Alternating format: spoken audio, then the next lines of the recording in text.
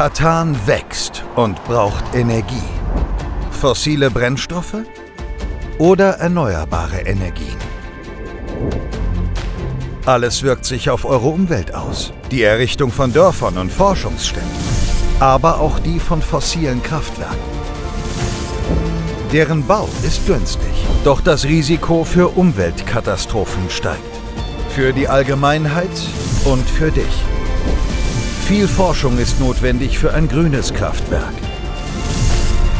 Saubere Energie zahlt sich langfristig aus.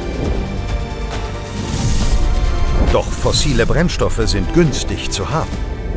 Welcher Weg führt zum Sieg? Findet es heraus. In Katan Energien.